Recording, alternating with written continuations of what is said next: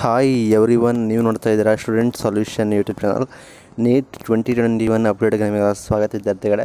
Important ಅಂದ್ಬಿಟ್ಟು exam day ಗೈಡ್ನೆನ್ಸ್ ಏನು ನಿಮ್ಮದು ಯಾವ ಡ್ರೆಸ್ ಕೋಡ್ ಅದು ಇಂಪಾರ್ಟೆಂಟ್ ಆಗಿರುತ್ತೆ ಅಂತ ಅಂದ್ಬಿಟ್ಟು ನೀವು ಎನ್ ಟಿ ಎ ಹತ್ರ ನೀವು ಪರ್ಮಿಷನ್ ತಗೋಬೇಕಾಗಿರುತ್ತೆ. ಅದು ಯಾವುದಕ್ಕೆ, ಅದ್ರ ಬಗ್ಗೆ ಕಂಪ್ಲೀಟ್ ಮಾಹಿತಿ ವಿಡಿಯೋ ತಿಳಿಸ್ಕೊಡ್ತಾನೆ. ಯಾರು ಸಬ್ಸ್ಕ್ರೈಬ್ ಆಗಿ ವಿಡಿಯೋ ಇಷ್ಟಿದ್ರೆ ಒಂದು ಲೈಕ್ನ ಮಾಡಿ. ಬನ್ನಿ, ಈ ವಿಡಿಯೋನ ಶುರು ಮಾಡೋಣ ಫ್ರೆಂಡ್ಸ್ ಮೊದಲು ಬಂದುಬಿಟ್ಟು ನೀವು ಕ್ಯಾಸುವಲ್ ಡ್ರೆಸ್ ಹಾಕಬೇಕಾಗಿರುತ್ತೆ ಆ್ಯಂಡ್ ಅವಾಯ್ಡ್ ಲಾಂಗ್ ಕ್ಲಾತ್ ಅಂದರೆ ಫುಲ್ ಸ್ಲೀವ್ ಆಗಿರೋ ಡ್ರೆಸ್ ನೀವು ಕಂಪಲ್ಸರಿ ಹಾಕೋಬಾರ್ದು. ಅದು ಯಾಕಂದರೆ ರೂಲ್ಸ್ ಆಗಿರುತ್ತೆ.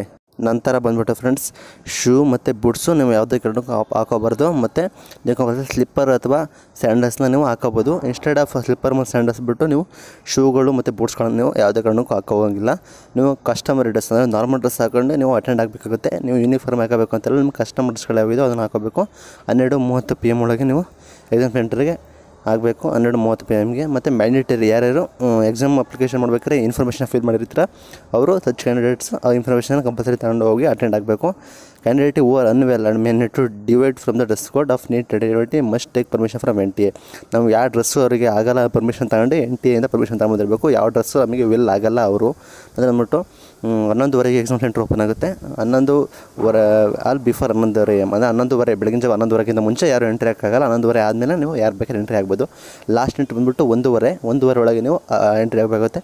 ಒಂದೂವರೆ ಮೇಲೆ ಯಾರನ್ನೂ ಅಟೆಂಡ್ ಮಾಡಲ್ಲ. ನೀವು ಲೇಟ್ ಆದರೆ ಕೂಡ ನಮಗೆ ಎಕ್ಸಾಮಿಗೆ ಅಲೋ ಮಾಡಲ್ಲ. ಒಂದೂವರೆ ಒಳಗೆ ನೀವು ಎಕ್ಸಾಮ್ ಅಲ್ಲಿಗೆ ಅಲೋ ಮಾಡಬೇಕಾಗುತ್ತೆ. ಅಂದ್ಬಿಟ್ಟು ಎರಡು ಸಾವಿರದ ಇಪ್ಪತ್ತೊಂದು ಅಡ್ಮಿಟ್ ಕಾರ್ಡ್ ಅಂದರೆ ಆಲ್ ಟಿಕೆಟ್ನ ಕಂಪಲ್ಸರಿ ಫಾರಮ್ ತರಬೇಕು. ಮತ್ತು ಅದರಲ್ಲಿ ನಿಮ್ಮ ಪೇರೆಂಟ್ಸ್ ಮತ್ತು ಗಾರ್ಡಿಯನ್ ಸೈನಾಸ್ಟರ್ ಕಂಪಲ್ಸರಿ ಆಗಿರಬೇಕು. ಅಂದರೆ ಅದ್ರ ಜೊತೆ ಅದರಲ್ಲಿ ನಿಮ್ಮದು ಪಾಸ್ಪೋರ್ಟ್ ಸೈಜ್ ಫೋಟೋ ಇರುತ್ತಲ್ಲ, ಅದು ಕೂಡ ಕಂಪಲ್ಸರಿ. ಅದರಲ್ಲಿ ಇರಬೇಕು ಆಲ್ ಟಿಕೆಟಲ್ಲಿ ಮತ್ತು ನಿಮ್ಮದು ವ್ಯಾಲಿಡ್ ಐ ಡಿ ಪ್ರೂಫ್ ಅಂದರೆ ನಿಮ್ಮದು ಕಾಲೇಜ್ ಐ ಡಿ ಕಾರ್ಡ್ ಆಗಿರ್ಬೋದು, ಆಧಾರ್ ಕಾರ್ಡ್ ಆಗಿರ್ಬೋದು, ಎಲ್ಲ ವ್ಯಾಲಿಡ್ ಐ ಡಿ ಪ್ರೂಫ್ ಇರಬೇಕು. ಅದ್ಬಿಟ್ಟು ನಿಮ್ಮ ಅಡ್ಮಿಟ್ ಅಡ್ಮಿಟ್ ಕಾರ್ಡಲ್ಲಿ ನಿಮ್ಮ ಫೋಟೋ ಇರಬೇಕು, ನಿಮ್ಮ ಪೇರೆಂಟ್ಸು ಸೆಲೆಕ್ಷನ್ ಆಗಿರಬೇಕು, ಮತ್ತು ನಿಮ್ಮ ಡೇಟ್ ಇರಬೇಕು, ಅದ್ರ ಬಗ್ಗೆ ನಿಮಗೆ ಗೊತ್ತಿರೋ ಅಂತೀನಿ ಅಂದರೆ ಡಿಮ್ಯಾಂಡ್ ಈ ಅರ್ಷಿ must produce the admit card of need ಒಂದು ಆನ್ ಡಿಮ್ಯಾಂಡ್ ಅಂದರೆ ಅವ್ರು ಕೇಳಿದ್ರೆ ನೀವು ಅಡ್ಮಿಟ್ ಕಾರ್ಡ್ ನೀವು ಕಂಪಲ್ಸರಿ ಕೊಡಬೇಕಾಗುತ್ತೆ. ಅಂತ ಬಾಡಿ ಸ್ಕ್ಯಾನರು ಅವನ್ನ ಚೆಕ್ ಮಾಡ್ಕೊತಾರೆ ಅದಕ್ಕೆ ನೀವು ಕೋಆಪ್ರೇಟ್ ಮಾಡಬೇಕು ಎಕ್ಸಾಮ್ ಸೆಂಟ್ರಲ್ಲಿ ಅಂತ ಅಂದ್ಬಿಟ್ಟು ಅಂದರೆ intend use their own scribe ಅಂದರೆ ನಿಮ್ಮ ಏನೋ ಒಂದು ಲಾಜಿಕ್ ಇರುತ್ತಲ್ಲ, ಆ ಥರ ನೀವು letter of undertaking to the exam centre permission letter ನೀವು ತಗೊಂಡಿರಬೇಕು. ನಿಮಗೆ ಒಂಥರ ಬೇರೆ ಥರ ನಿಮಗೆ ಇನ್ಫಾರ್ಮೇಷನ್ ಬೇಕಾದ್ರೆ ಪರ್ಮಿಷನ್ ಲೆಟರ್ ಬೇಕೇ ಬೇಕಾಗುತ್ತೆ ಅಂತ ಮಟ್ಟು ಐದು ಗಂಟೆ ಮೇಲೆ, ಐದು ಗಂಟೆ ಒಳಗೆ ಯಾರು ಎಕ್ಸಾಮಿಂದ ಹೊರಗೆ ಹೋಗೋಕ್ಕಾಗಲ್ಲ. ಐದು ಗಂಟೆ ಆದಮೇಲೆ ನೀವು ಬೇಕಾದ್ರೆ ಎಕ್ಸಾಮ್ ಅಲ್ಲಿಂದ ಹೊರಗೆ ಹೋಗ್ಬೋದು. ಮತ್ತು ಅಂದ್ಬಿಟ್ಟು ಯಾರು ಎಕ್ಸಾಮ್ ಆಗ್ತಿರ್ತಾರೆ ಅವರು ಕಂಪಲ್ಸರಿ ಅಟೆಂಡೆನ್ಸ್ ಶೀಟ್ಸಿಗೆ ಎರಡು ಸೈನ್ ಮಾಡಿರಬೇಕು.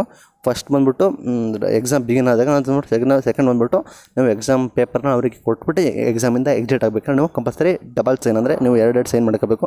ಫಸ್ಟ್ ಎಂಟ್ರಿ ಆದಾಗ ಸೆಕೆಂಡು ನೀವು ಎಕ್ಸಿಟ್ ಆಗಬೇಕಾರೆ ವಿಡಿಯೋ ಇಷ್ಟ ಲೈಕ್ ಮಾಡಿ ಶೇರ್ ಮಾಡಿ ಸಬ್ಸ್ಕ್ರೈಬ್ ಆಗಿ ಈ ಥರ ಹೆಚ್ಚಿನ ವಿಡಿಯೋಗೆ ನಮ್ಮ ಚಾನಲ್ ಸಬ್ಸ್ಕ್ರೈಬ್ ಸಪೋರ್ಟ್ ಮಾಡಿ. Thank you for